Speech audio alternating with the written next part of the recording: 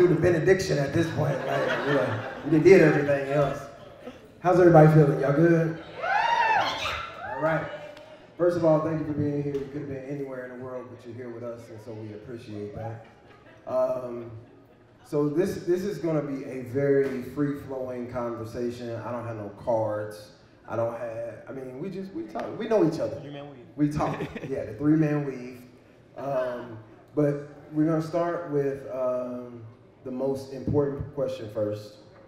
Um, and as I ask questions, y'all can ask questions too. I'm moderating on the flyer, but you know, it's, it's, it's a conversation. So most important question, we'll start with that one first. Kendrick or Drake? I knew that was coming. and Uh, why? Uh, in, in Not, of not even a question. Uh-oh. overall body of work, Drake. But in terms of this most recent battle, Kendrick. Okay. Kendrick clearly, without a doubt, body Drake. And I think it's time for Drake to take a step aside with his fast, quick H&M music and give some time and space for some timeless music. All right. What do you think? Obviously Kendrick. Yes, sir. It's not a question. The revolutionary in me will not allow me to do Drake for body of music or the battle.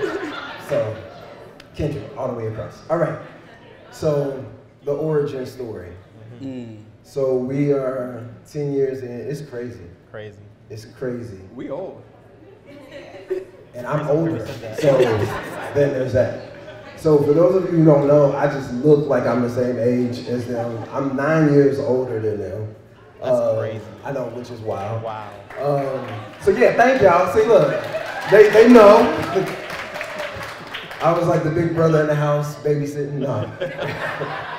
I think we, we all grew together, and I think that that is one of the things that I love about our story is that we got to see each other mature, grow, and really become the men that we are for our communities kind of through this process.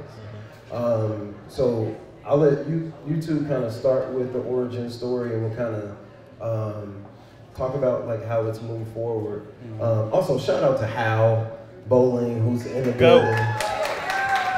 He's a, a very important part of the story. Um, and when we got started, he was one of our kind of mentors, and uh, he helped kind of guide us through this process. But so I'll, I'll hand it off to, to Derrick and Jimmy to start. You want to start with how you moved to Cincinnati?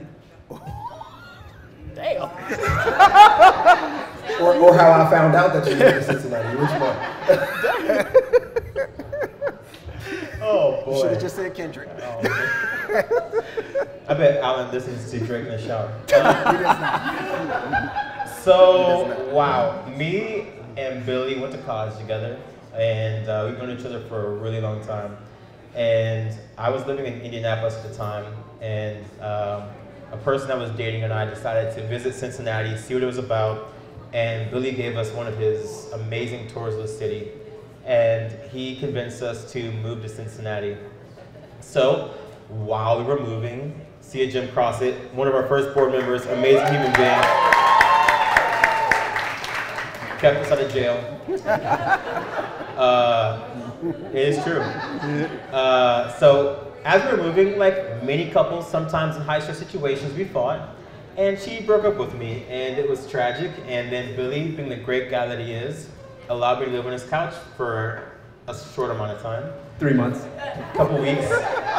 And you know, I was a little sad. I'm, we're all Pisces, if you didn't know that. And part of my emotional outlet was going out and experiencing the city and crying sometimes.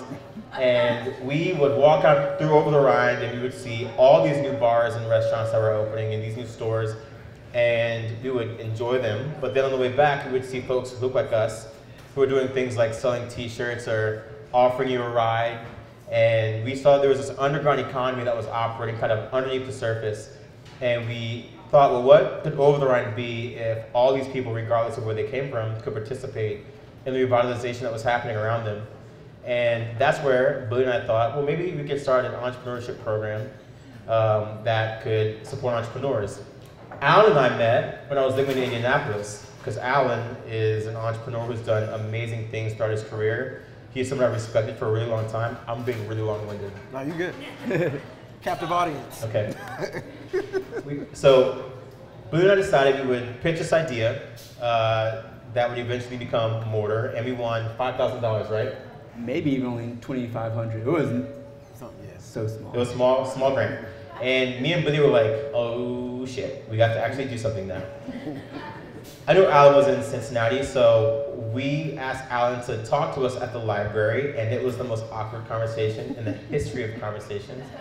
And luckily, Allen, being the person that he is, saw the vision, and he believed what we were trying to do, and we decided that we were better working together to see what we can do collectively to make sure that everybody in Cincinnati could participate in what was happening in our passability. Yeah, I remember the day we pitched. We pitched this idea at Rheingeist, and we were working at KnowledgeWorks at the time, and we were testing out the idea up in the boardroom while we were supposed to be taking phone calls and whatnot. we show up at Rheingeist like some dinkleberries. We have, you know, our tucked-in shirts, and our blazers, and all this kind of stuff. And uh, I remember we had my girlfriend at the time make a quick deck. It was five slides, and we won somehow. We had like five people in the, the audience, but I think from that we knew that there was something behind it, and that there was this idea and belief that more could be done in our neighborhood OTR at the time, and also throughout the city. So when we started, it was just the idea of just doing one class in Over the Rhine. And then that's, I think, when Allen also came in, it was like, yo, there's so much more that we can push and, and shift in our city from this. Yeah, so my, my background is in, my degree is actually in graphic design. My background is in everything visual arts. So I came in initially thinking about, you know, how can I create this brand that, you know, people will see and respect like from the gate. Um, and I wanted it to look a lot bigger than three people. Like, so that was kind of what I was tasked with initially. So when we first came in, I think that one of the cool things was that we also had three entirely different backgrounds, even though they were both working at the same place. Um, Derrick had a background kind of in fundraising and development. Billy had done some stuff with nonprofits here and in Africa. My background again is in design, and I've just been an entrepreneur for my whole life. I've been a photographer since I was 12. So it was like, how could we all collaborate, stay in our lanes because we all brought something different to uh, kind of the, the pot and you know get together and figure out what that could look like. Um, so ultimately, we put out flyers. Uh, we started to really talk about this initiative, say, hey, this is something that we think is uh, value and people will appreciate. And we got three applications. and we looked at each other like, wait a minute. like I thought I thought we was on to something. It was like, but we only got three applications. We were sharing it everywhere. Everywhere. And then um, the Business Courier did an article, and from there it kind of was like everything fell into place. We we had a guy who called us and was like, "Hey, I saw in the article that you're looking for a place to hold the classes," and Billy was uh, he was unable to, to attend. I think it was just me and Derrick, and we went and met this guy named Scott in his office on uh, Vine Street. And he was like, you know, I got this other business where I do plastics and I do this kind of on the side. It was a venture capitalist. He was like, but I'm not really in my office. You guys, like, you could use the office, you know, whenever you need to. And Derrick, being Derrick, he was like, this sounds sketchy. like, like, why do you want to help us? and the guy was like, do you believe in God? And he's like, because I feel like God is telling me to do this for you guys. Mm. And I was like, I believe in God, and I believe you should listen to him. I'm down. So we actually took over his office. He ended up moving out. We took over the lease. Um, and um, during that process, he was asking us, like, what else do you want to do? I was like, you know, I had a dream about doing a store. I was like, I've never wanted to have a store. It's weird. I don't know why I had this dream. And he's like, follow me. And then we, then we both looked at each other like, Where we we don't know this man. Like Get Out hadn't came out yet, but it felt like that. He was like, he grabbed his keys. We followed him randomly into this other storefront that was right next door, and that actually became our first pop-up shop. Uh, because he was like, "Is this enough room?" He was like, "I'm just using it for storage." He had literally like one box and one ladder in this whole storefront, and I was like, "That's not really a good usage of storage," but but it was perfect for us because it made a great spot for us to do our pop-up shop and so the dream that I had about the store kind of became the, the vision of the pop-up shops.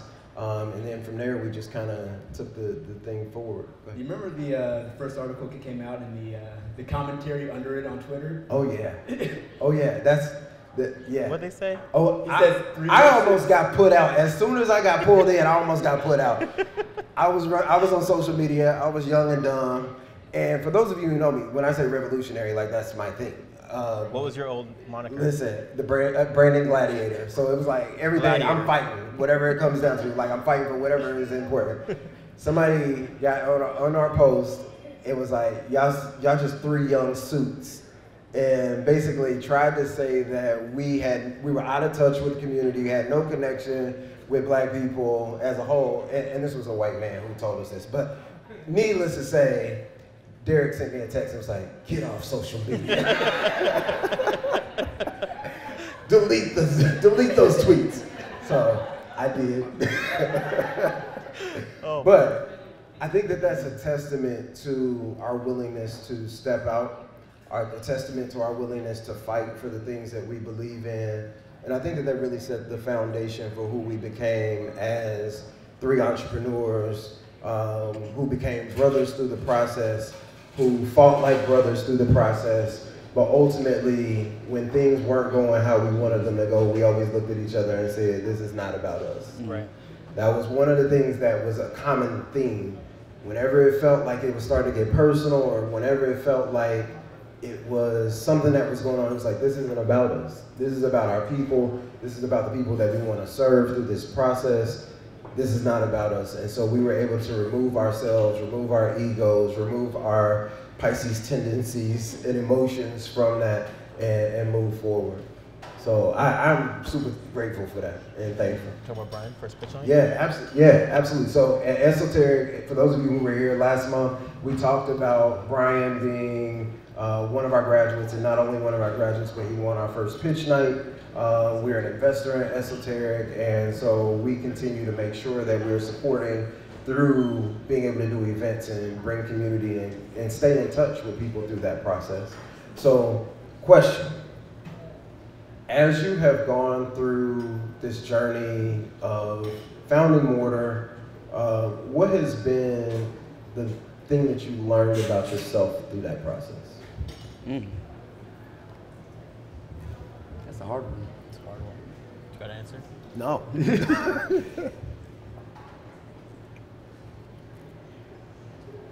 I think one early on was to not take things personally. Um, and that was hard. And I think when we were start out, we were, you know, pushing a lot of boundaries of what has been done here in Cincinnati and, and maybe stepping on toes of people who felt like they were doing a lot of the similar work. And starting out, it was really hard, you know, looking up at people that I felt were, you know, people I looked up to, people that were mentors in many ways, pushing back so heavily. Um, and from that, I think we learned that it's not about what we're doing. It's a lot of what's going on within themselves and maybe own insecurities, and that do not let that drive what we believe to be true and what we believe to be possible.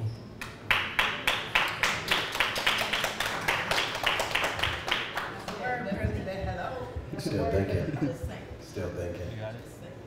I think for me, for me, I think the, the one thing that I learned about myself through this process is to to choose the battles.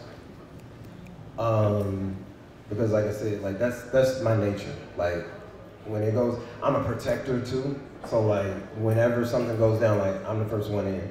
Um, but being able to choose battles and to understand what it looks like to, to kind of pause in those times, you know, to reflect. Um, there's been a lot of maturity just through this process in general and through, you know, therapy and just like getting a better understanding of like self-awareness and, and who I am and who I ultimately want to be. And so I think that that's been one of the things that was a major thing for me and a, and a major lesson through this process is how to choose those battles and then also how to um, find your real allies, you know, through that process because there are people who will fight with you um, and not fight against you, and there are people who are there are a lot of a lot of people in the room um, who have been in our corner from day one. I mentioned how uh, Eric from the city, like we have always been able to have, you know, if we have questions, like you know, when we're not understanding processes, and uh, he's able to kind of walk us through that. Go. Uh, and uh, Alicia from Go. US Bank, like she has, Alicia is like, she's become one of my really good friends, and like I, I can.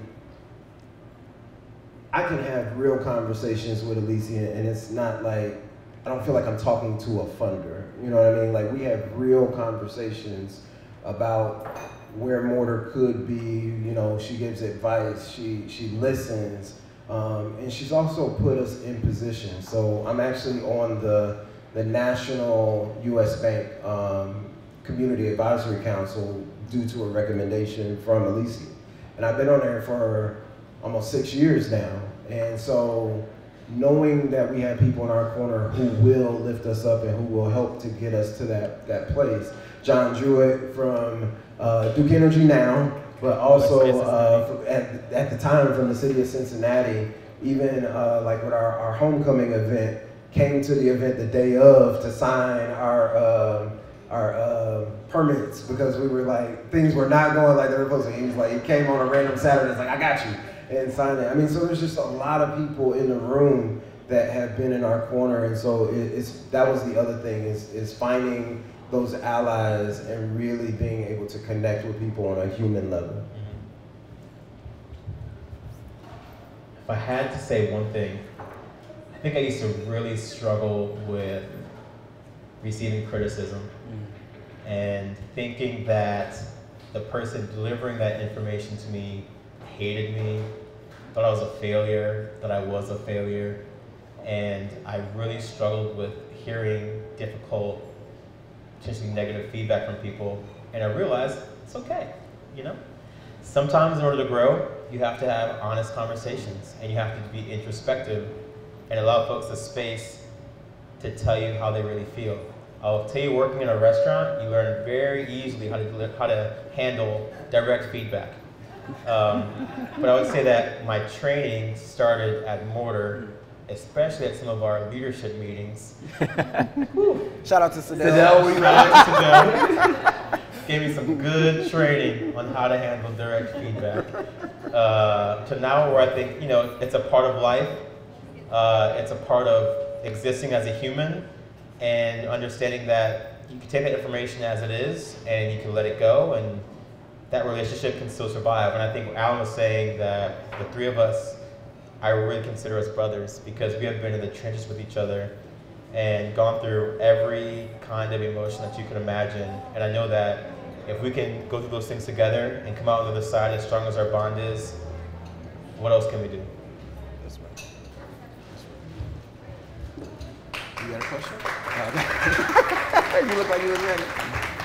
So, um, as many of you know, in December 2019, Derrick and Billy, um, they broke up the band to pursue their solo careers, and um, they've both gone on to do amazing things that we're we're super proud of, and even as like Mortar, Derrick is technically on paper maybe Technically, what?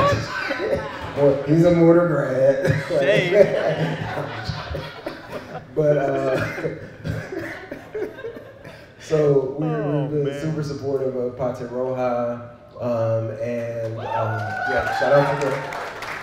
Um, so I'm gonna get to you in a second, but, but Billy has uh, also done some amazing things with community building with uh, his sister Destiny and Cincy Nice. But uh, yeah, shout out to them. And they're also operating Five Points, uh, which is literally right behind the, the Derner building that we'll be in, so we'll be neighbors again. Um, but for Derrick, in thinking about Pata Roja, um, actually, I'm going to start with one question for both, and then we'll go to your individual story. But for entrepreneurs, sometimes it can be challenging to know when it's time to go. Um, how do you, or what advice would you give to somebody who is in a business right now? And sometimes it could be that the business isn't going in the way they thought it was. Sometimes it could be, I mean, there's any number of reasons why people choose to end a business or end a partnership or end, like what advice would you give to somebody who is considering kind of their next move um, and what's in their, their journey? Uh, my first response is I shared this a couple weeks ago. Is you have to really love what you do because entrepreneurship is so hard. And a lot of times I really miss Allen and Billy because I feel like at least we had each other. And now, you know, I'm off. Sometimes somebody else. And it's sad. We love you, man. I miss my guys. but, you know, I gotta wake up every day and do the same thing all over again. And I gotta be the person who's my biggest cheerleader. And if you don't have the intestinal fortitude to get yourself up, hype yourself up, and keep moving forward, don't do it. Because it's gonna eat you up alive. And it's gonna be tough for you and the folks in your circle if you aren't really passionate and in love and have the perseverance to work through the everyday challenges of entrepreneurship, of which there are so many. So I would say the first thing is have an honest conversation with yourself and ask yourself, is this really what I want to do? Because a lot of times I think I was sharing with Hal, I was joking, there are a lot easier ways to make money than being your own boss. Thanks.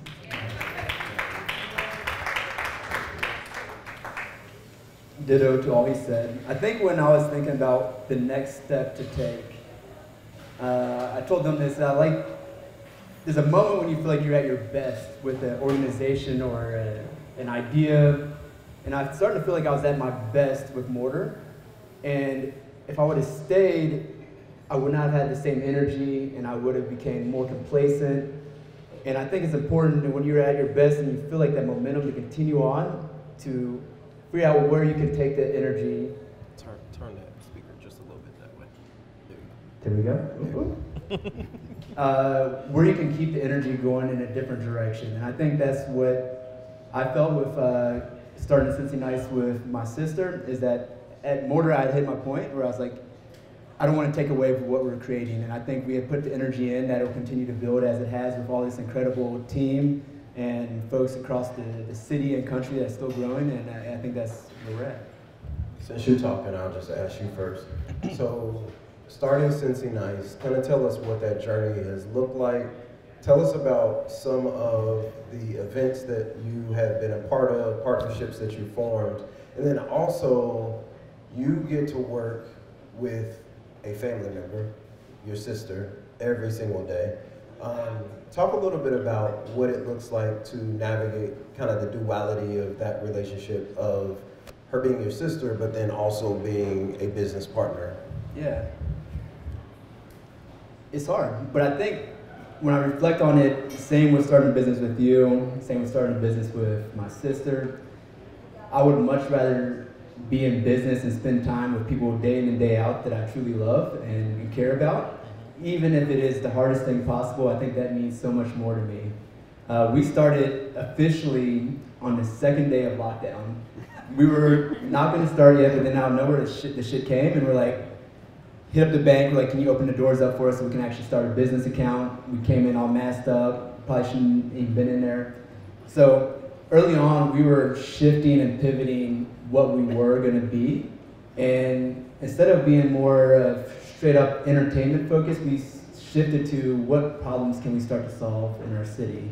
So our first big installation was during the George Floyd protest when we shut down like three blocks of Main Street, took down all the, the boarded up windows that had um, art put on them and set them up for one long table for us to actually have authentic and genuine conversations, leading with black folks sitting at the table first and inviting our other friends in uh, to actually have real conversation instead of just the yelling that we felt was happening. Um, and from there, we've continued to shift, and we're fortunate enough that we're on the, the Blink team now and putting that on this year. Very excited about that. And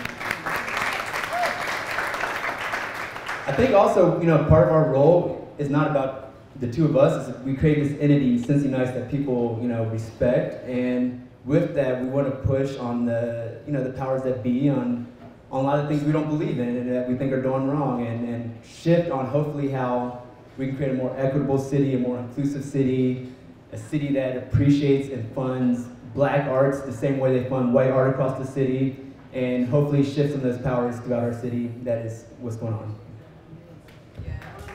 Shout out to that. That's what's up.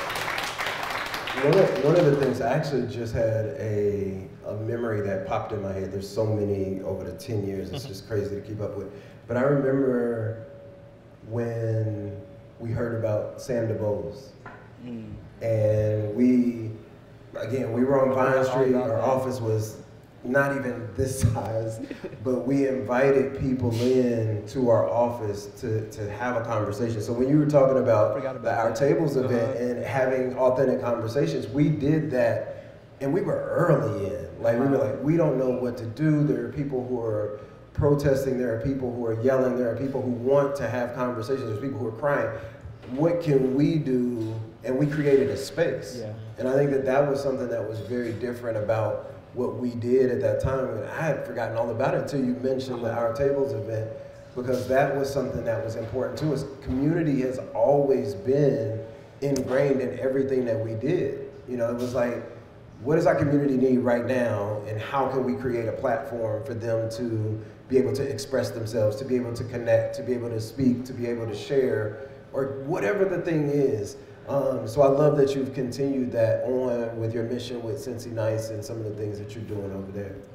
So Derrick, um, when you think about your journey with Pata Roja, it started kind of pre, uh, before you left Mortar. Talk about like what it looked like to kind of dip your toe in, um, then making the decision that you were going to do it full time with the trailer. Then now you like in- a full blown brick and mortar that I can't even get in because it's always a million people in line.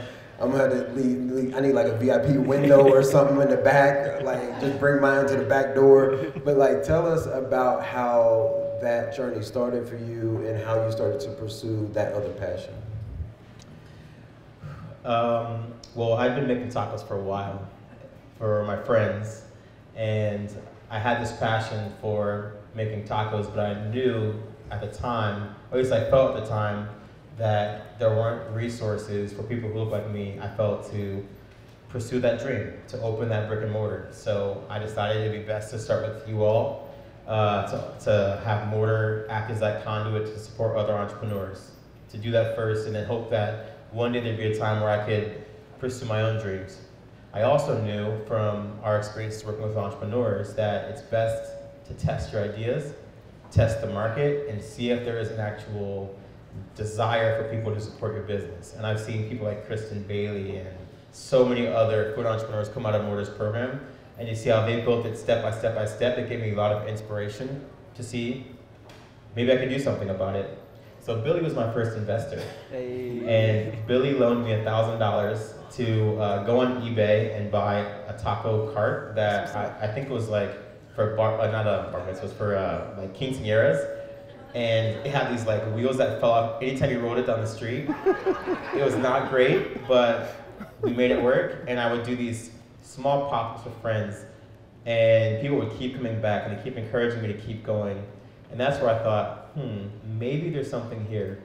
So I thought, well, how can I learn more? And that's when I applied for Mortar's program, and Allen gave me a hard time, but eventually I got in. Somehow. And I'm a proud graduate of class 21. He was like, I work here, I'm a founder. How come I can't get in the class? I'm a proud graduate of class 21. And I kept doing these pop-ups, and people kept coming back. So I was like, okay, maybe there's something here. And Rosedale. I forgot about And, Rosedale. and we had this uh, little kitchenette thing at Rosedale for our entrepreneurs. And I knew the opportunity was there, so I decided to try to squeeze my way in. And I was doing it on Sundays.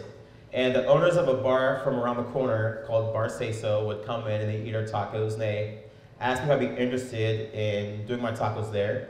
So I thought it could be a good idea. So that's where we partnered on a food trailer that we had for two years. And I learned a lot.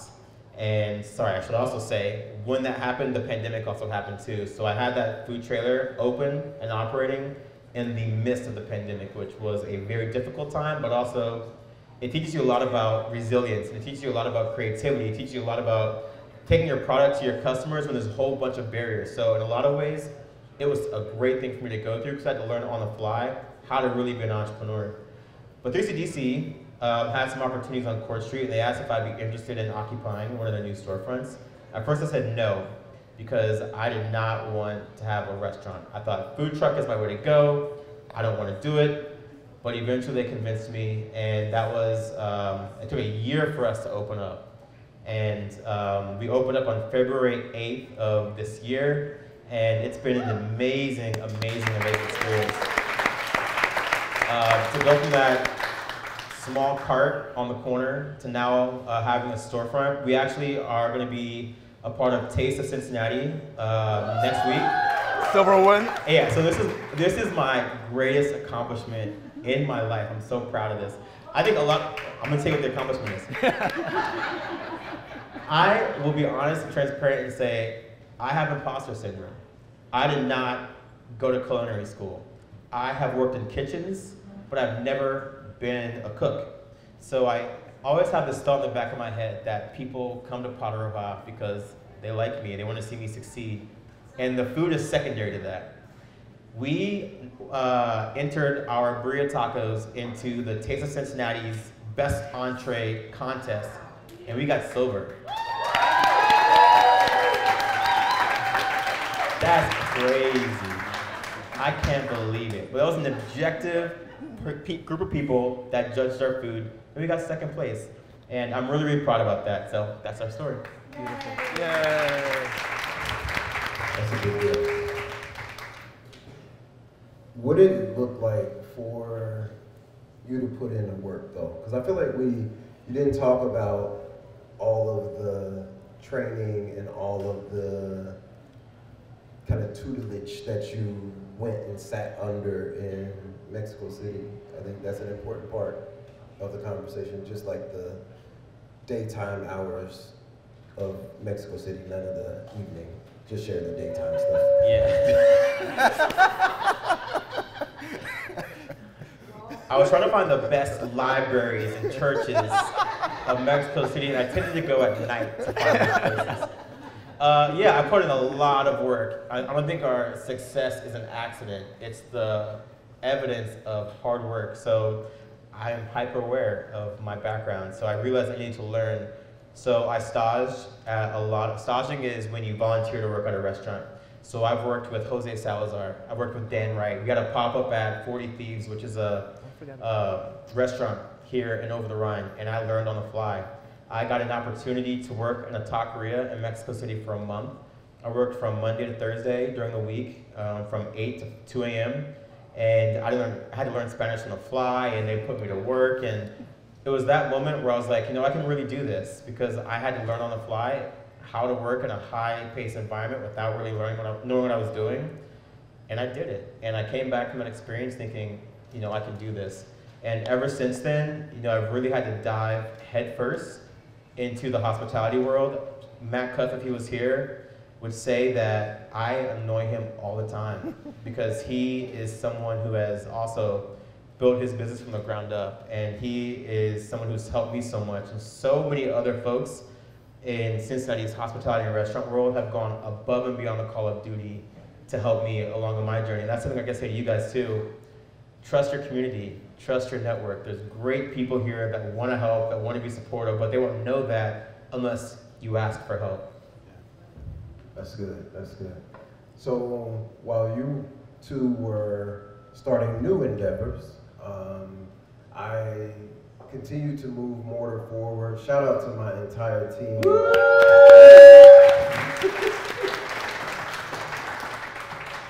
my, my team, I just, actually, let me have that one, and we'll just get rid of this one. There you go. CJ, We'll just give me some water. My team has taken this thing even further than I thought it could go. Um, they have challenged me as a leader. They have helped me become a better leader. They have taught me how to be more trusting um, and how to kind of get out of the way.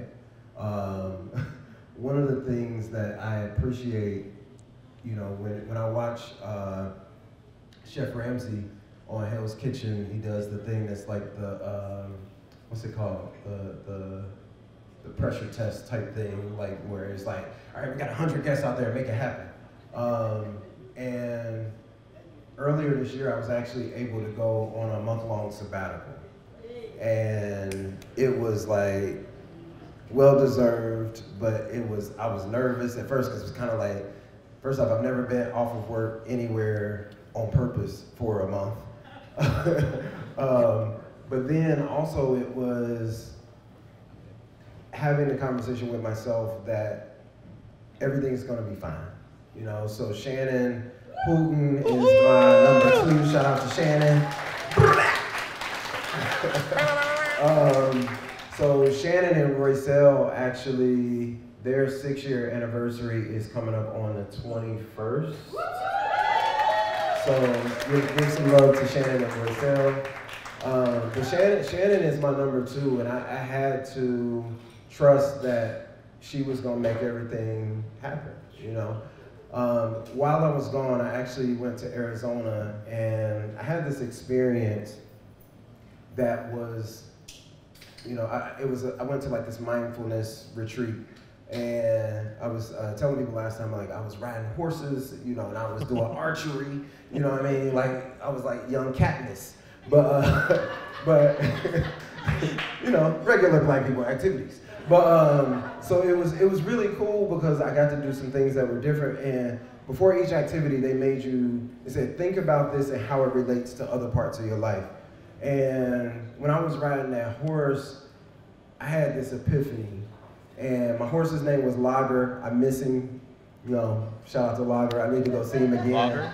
Lager, like a beer. Like a beer. Yeah, because he was the color of like yeah. But um, while you know, before you do the horse ride, and this wasn't like when I've ridden a horse before, but it was like in a circle, you know, like in a little pen, you know, that was it. But this was like on a trail on some mountains in Arizona, and I was like, I don't know. So they give you like a 15 minute training. That's it, 15 minutes, and I'm like, yo, I can't be falling off this thing. I got things to get back to.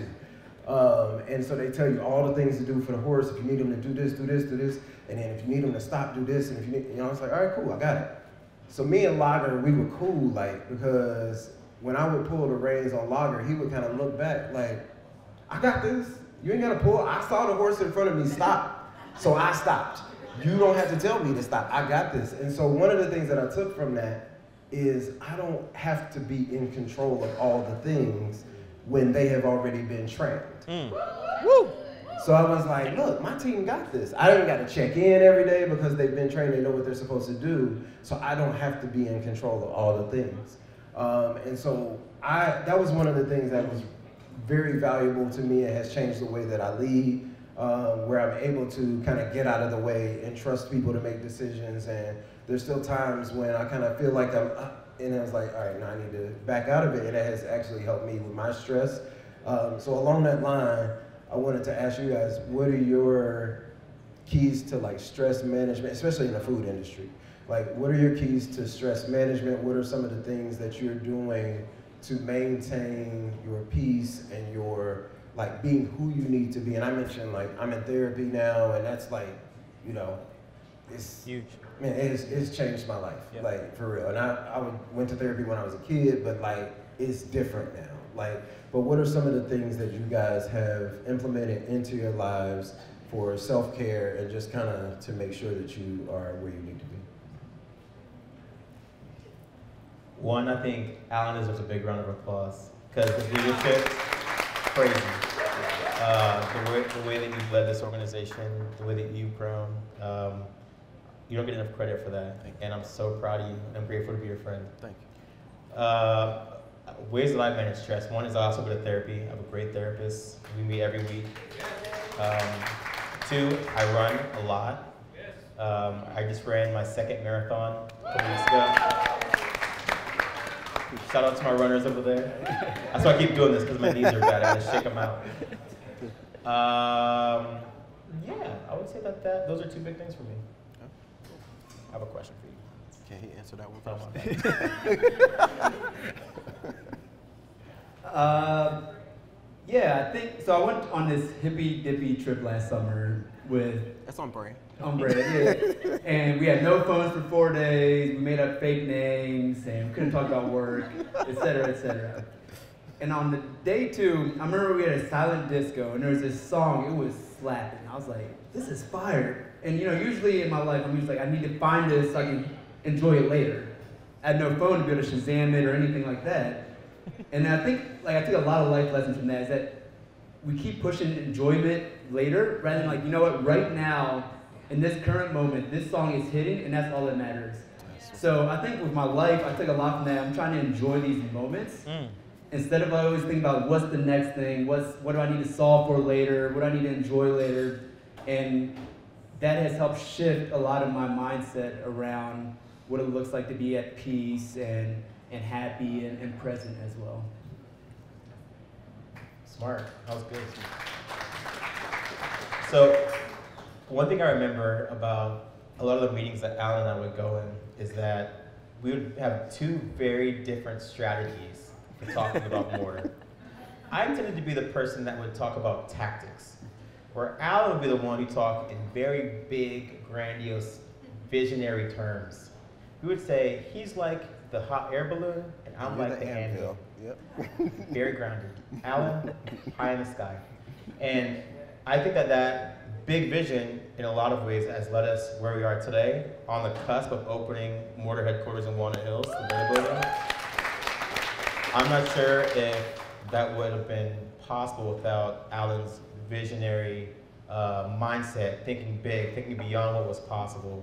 So, Allen, I'd love for you to kind of share where did that idea come from? What inspired you to think about the Derner as this place that, well, you talk about it. Tell us what you think. Yeah. Yeah, um, I think going going back to what I said earlier, just being rooted in community. Man, we live streaming. All right, so Say it. we often used to go to a certain co-working space, and sometimes when you walked into said co-working space, it just felt like we weren't supposed to be there, you know. And I was like, we we putting in work, you know, we're doing something. We're we're entrepreneurs, and this is supposed to be an environment for entrepreneurs. Um, but there weren't very many people who looked like us in this space.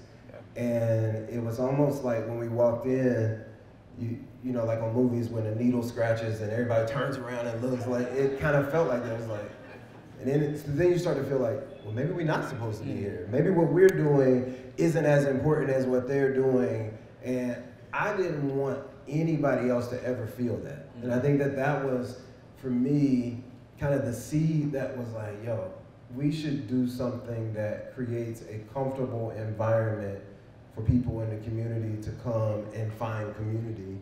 Um, and so, in thinking about the Derner, we have a lot of conversations with our alumni. We talk to other entrepreneurs, and really, I think we've done this from the beginning. We try to figure out like what is the thing that you, if you could do anything, what would you do? What is the gap that you have in your business? What is what is the thing that if you had a wish list that you would create? And I think that that's ultimately what it came from. And so, in thinking about the Derner building, it's gone through several iterations. This is something that has been a project that we've been talking about since early 2016. Long time. So like some people think like this just happened overnight. This is something that like we had a press conference with Mayor Cranley in 2016. Is that when it was? It was 2016 when we first went in the building. Like and I because I had, I was looking at the articles recently. I was like that was 2016. It's crazy. Um, and so And we wouldn't have been ready to do that then. So that's another thing that I've taken from this journey is to trust Mm-hmm. God's timing. If we had opened that building in 2016, it would not have been successful. Period. We didn't know what we were doing. Still stressed out now just thinking about it. Like it just the timing wasn't right. And so when you trust God's timing, you're like, look, this is gonna happen when it's supposed to. I stopped stressing about it. I was like, if it doesn't happen, it's not supposed to happen. Um, and so it's happening. And we are a month and a half from being done with construction. And in this space, we wanted to create everything that an entrepreneur could need. Um, outside of the community, we wanted to make sure that they had the tools, the resources. So when you walk in the building, there will be a pop-up cafe. So our food entrepreneurs can kind of test out their food concepts. So they'll do a residency there. On the other side, there is a retail space, so we'll be able to sell products from our entrepreneurs who have physical products. We'll be able to still have pop-up shops. In the basement, we have a full studio where we'll be able to do podcasts, we'll do things like this, uh, we'll be able to do photography, video, all of those things so that if an entrepreneur needs to get product photos for their website, they can come in and do that. We'll have cameras there and we'll be able to train people on how to do it. So it's not even just having the space, but it's the tools as well. We'll have a co-working space where people can come in, they can have their own private office or dedicated desk or just pop in and kind of just really connect with other people. Um, and then we'll also have a space where people can do convenings, where people can have off-site meetings or workshops. Um, and the space that I'm most excited about um, is our fourth floor. Uh, Lexi gave it the name The Retreat. Um, and ultimately, this space is designed to get away. Um, and it comes from, again, a space of rebellion for me. And I, when I went in with Model Group, I was like, yo, I was talking to Steve, I was like, I want to take the roof off the back of this. And he was like, yeah, they're not going to let you do that. So, because we got historic tax credits. So, you know, there's, there's per, certain parameters you got to operate in. So I was like, what's the next best thing? So what we're gonna do is actually inside of that space, we're gonna create an outdoor environment inside. Um, so it's gonna have uh, turf floors and it's gonna have a deck and seating that feels like it's outside. Uh, we're gonna have the Andre 3000 flutes going on through the thing. Like, we want people to come in and have morning meditations in this spot. We have a lot of wellness entrepreneurs who do yoga and other things like that, so we'll be able to provide those services as well. And so I'm just really excited about the prospect of not only connecting entrepreneurs with the resources they need to have financial wellness, but also mental wellness and physical wellness. And I think that that's a big part of what this building is. And it's, it's, uh, somebody mentioned this, this word the other day, a reclamation. You know, thinking about taking Walnut Hills to a place where kind of returning it to some of its old glory. Uh, Walnut Hills was once called Cincinnati's second downtown with a lot of thriving black owned businesses. And we want to be one of those entities that continues that trend and is nurturing those businesses that want to help us to get to that place. So that, for me, is, is a big part of the vision for that building. Uh, and I'm excited to welcome everybody in this room to that space because it's, it's going to be a big deal. So lastly, um, to close out, and then we might have time for maybe one, two questions from the audience. Um, it's, a, it's, a, it's an A and B question.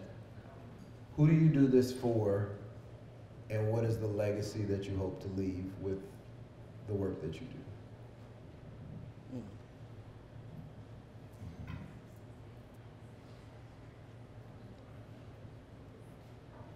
You. That's a hard question. Uh, I think that as human beings, we have an obligation to one another. And when we see another person struggling or trying to figure it out, I think that it is uh, the price that we pay for existing to do what we can to make sure that all of us can live joyful, peaceful existences, that we have the space and the opportunity to pursue whatever it is that we want to do in our life. So I think at the end of the day, that is why I wanted to be a part of this because I believe fundamentally that every person should have an opportunity to figure it out. And if that doesn't happen, then I think that there's a moral obligation to do something about it. And I thought that entrepreneurship, I believe that entrepreneurship is a pathway towards freedom. And I think at the end of the day, that is why we're here. So, in my heart, there's a calling. And that calling is a personal pursuit of freedom and a collective pursuit of freedom. And if God has given me the resources and the tools, then it is my duty and obligation to give those tools to help other people pursue the same things. How about, how about That was beautiful. Thanks, BT. Wow, um, what a guy. What a guy. I do it for my nieces, my great nieces, my family that may not have ever had these opportunities, the community here, all of you all. I think there is this idea that a more free world exists, and there are a lot of ways to get to a more free world, and a lot of it is being able to believe in the ideas that you have, having the freedom to pursue those ideas, and having the support needed. And you know, when it's all said and done, I hope the energy that we put into this and all of our other individual endeavors has helped create a world where more folks feel the support and the belief in their own ideas to pursue the life that they truly want to in the deepest of their hearts. Mm.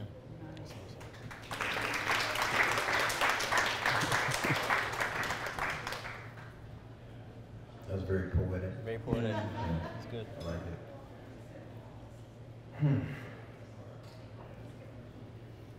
I do this for Naptown. Hey. Uh, go Pacers. Um, I do this for generations before and after. Um, I feel like I'm, I'm in an amazing place to build on the foundation of my family that has come before me, but then also be able to build something with an even firmer uh, foundation for the people who come after me. I do it for my family. Um, shout out to my family. Um, I would not be able to do the work that I do without Kyla. Give it, give it.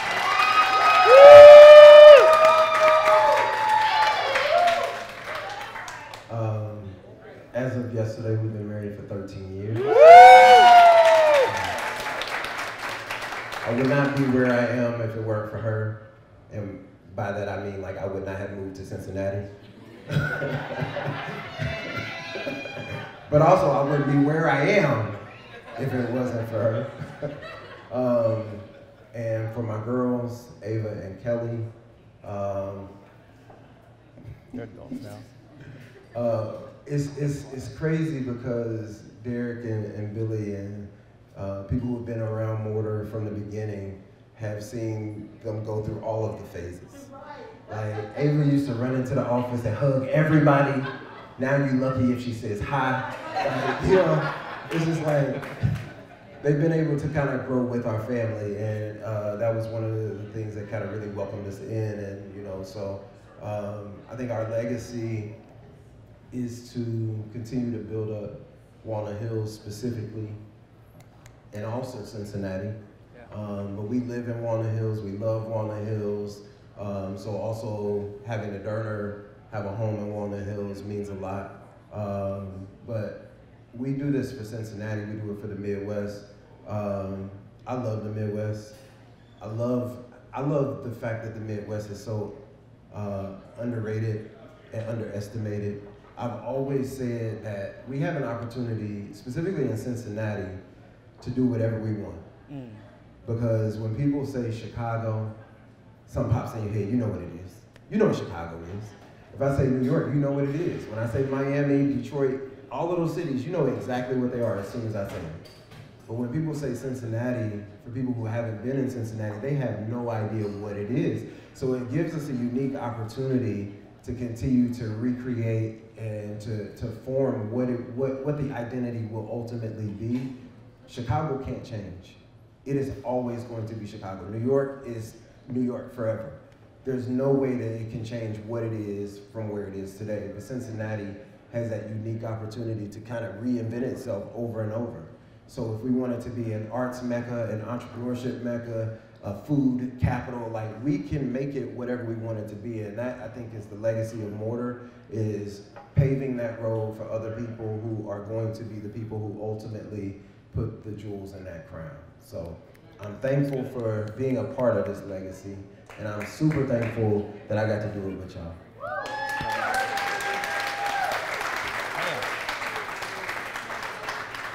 So we have time for one question.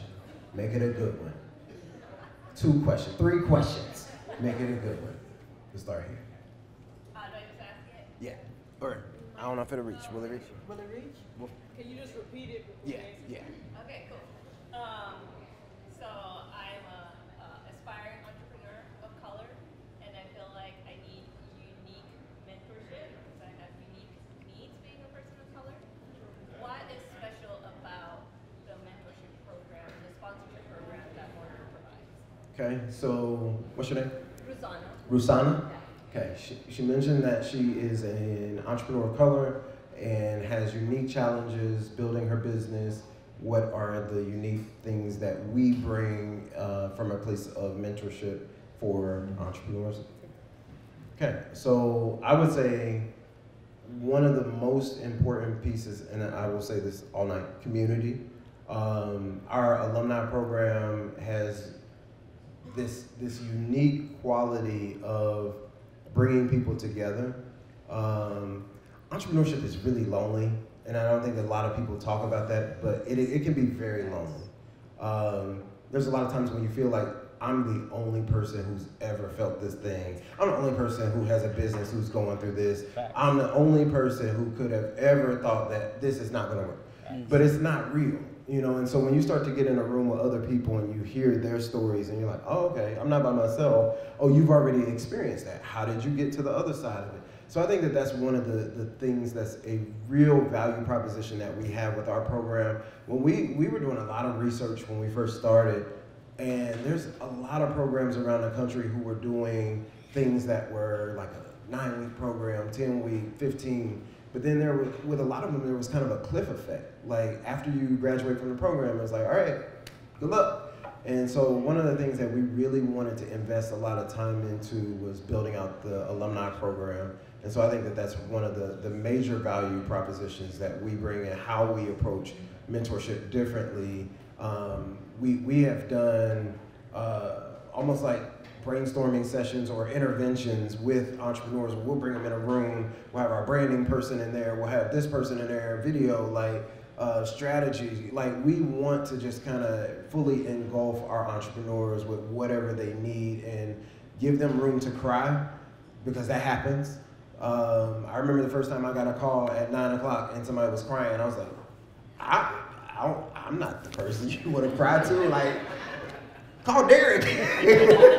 He'll cry with you. Like, but it was just like, okay, like we in here, we in the trenches. Like I didn't know that that was what we were signing up for. But it was like, okay, like then you understand that when people come to you, sometimes they come and they share an idea with you that they haven't even told their family. Like so, in these uh, cohorts of our academy, they become family because there are times, there have been times in cohorts where we've had people tell the people in the room that they were pregnant before they even told their partner. Like legit. Like, so they really have built a family, and that, that network is one of the, the ways that we approach uh, entrepreneurship differently and mentorship differently. Cassandra.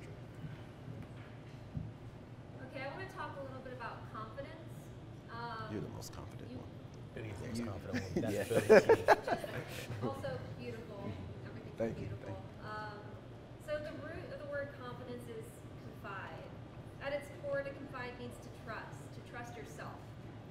What advice would you give to aspiring entrepreneurs struggling with confidence about the importance of trusting yourself and your capability for success? Mm, that's good. Can you repeat That's just a- the end part? What was the last part of the question? What advice would you give to aspiring entrepreneurs about trusting yourself and So the question is, what advice would you give to aspiring entrepreneurs about confidence and trusting yourself? Yeah. That's close. Close, Yeah, close. That's good. Jeez, I mean, I think at the end, it's so important. that You got to believe in your idea to start out with, and if you don't fully believe in your idea, there's going to be a million naysayers that's going to tell you why you shouldn't believe in your idea.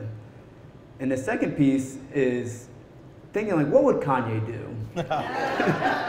Old Kanye. Old Kanye. What would old Kanye do?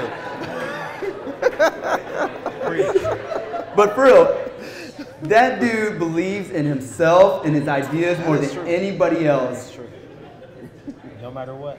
And I think we all got to embody a little bit of that, that weird spirit that he has. Even if it's, you know, dialed down 50%, we still have that idea that we are the ones to carry out this idea. And if it's in our heart and our soul, like, we are mm-hmm. the ones to do it. And I think there's no other if, and, buts, or maybes. And I think we can talk ourselves out of it. And there's like, you know, there's the little head idea, but then there's this bigger part inside of you. And you got to let that bigger part inside of you really drive everything that you do. That's good, Bill. Two things to add. One, I think it's really important to release the like end result because it's all about the adventure. It's all about learning every single day. There's something new for you to learn. Even failure is a lesson. And once you're able to see those things as something you can learn and improve and to move on, I think the easier the process becomes. The second thing I would say is you're never really alone. There's, Mm. of course, people around you, but there's also your faith. And I have grown so much in my faith because there's been so many times where I'm sitting in a room and I'm like, I don't know how I'm gonna pay my employees. I don't know how I'm gonna pay my rent. I don't know how I'm gonna afford a meal for myself. This is a very transparent thing I'm gonna say. Last January or February, I got an eviction notice on my door. I was down bad. And I had to rely on my faith that God was to provide a way, even though I couldn't see the way in front of me. And here I am with a restaurant on Court Street. Talk to him. So, yes, there's confidence in yourself, but you're also not alone. There's something that it's hard to explain that will be with you if you continue to move forward. That's good. That's good. There was somebody back there. Nope. Good. Okay. We're done? Oh, there we go. Um, so I think, uh, as a fellow entrepreneur type that also works in our communities, I suppose I think the thing that can be helpful for anyone to come on the fence here is like, what's kind of like your own personal mantra when you like have that like do or die decision moment? Is there like a, I don't know, is there a pump up jam that y'all do or like you know like push-ups? like what's what what's your thing that gets you to be like I I gotta make that executive decision? Like, Mm. what's that what's that thing for you each? So I, I don't, I don't necessarily have mantras. I do have like random, I don't know. Drake songs? Yes. yes. yep. You got me. I, I think that one of the things is how you do ev- anything is how you do everything. Um, so, and this is one of the things that I often share with our newer entrepreneurs, uh, especially the ones who are just going through the, the academy. If you are slacking on doing the you know, work that we assign in the class, um, you're gonna slack when it's time to run your business. You know, if you if you're not gonna get up to make it to the meeting with the person who could be, you know, your next client, and you blow that off, you're gonna continue to do that. So, and I try to be a man of my word. So if I say I'm gonna do something, I'm unless something like severe happens, I'm going to do it. Now there's a lot of times I say, yeah, I'm gonna do something, and then it gets to that day, and I'm like, I do not want to do that, but I'm gonna still show up because I've already put it out there that I'm going to, and I want to honor my word. So I think that for me, it's uh, how you do anything is how you do everything, and then just to be kind of true to your word. I listened to Kanye, St. Pablo. Great song. Thanks. I think just the idea that everything always works out in some way. And, you know, you make a decision, you stand 10 toes down on that decision, And sometimes it's the wrong one, and sometimes it's the right one. But at the end, it all will work out, and everything's gonna be okay. Alicia? I was gonna ask a question about pivoting. I think COVID taught us that you gotta duck, dodge, pivot. How do you guys pivot? Because I know you get stuck with like one idea that doesn't work out. So like, can you talk a little bit about like when you worked with one pivot that you thought you were gonna do and it didn't work out, you should go a different direction? No, that's a good question. Um, she asked about how do you, how do you pivot, how do you make those decisions. Um, I think that for me,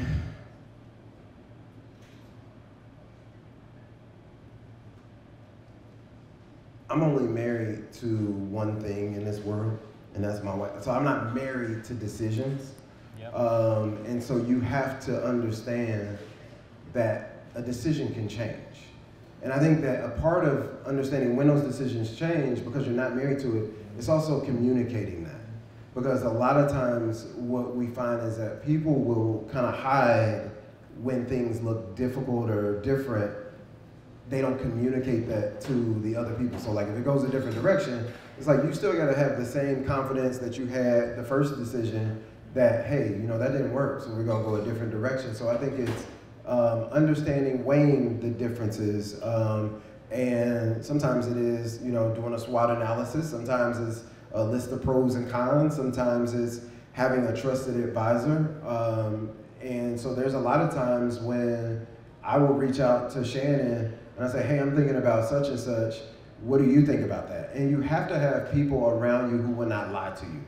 Yeah. I think that's one of the most important parts of any entrepreneurial journey. Anybody who wants to go anywhere, you cannot surround yourself with people who will only say yes. And for me, Derrick was always that person. So as he as he mentioned that analogy of like, I am the the hot air balloon. I think we can go we can go er- anywhere we want to go. And he's like, yeah, but reality is, and it's like, damn, like can I live in it a minute? But but you need that person in your life to say, have you thought about this?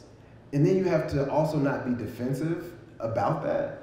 And that was another like because when Derrick talked about you know like I felt like when this when you said this you you really are just attacking me. And it's like I was super defensive. Like because if I really believe in an idea and I feel like you crapping on my idea if you know but it's not that. It's like but if you have that person you trust that you can go to and say hey I'm thinking about this.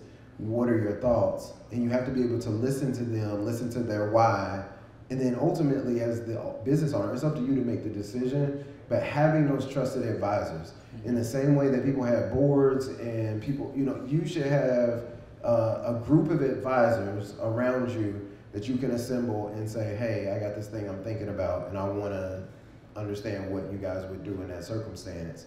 Um, and trust them to give you, to be honest with you. Um, thank them, even if you disagree and thank them and respect the, the perspective, but ultimately it's going to be on you to make that decision. All right. Thank you guys for being here.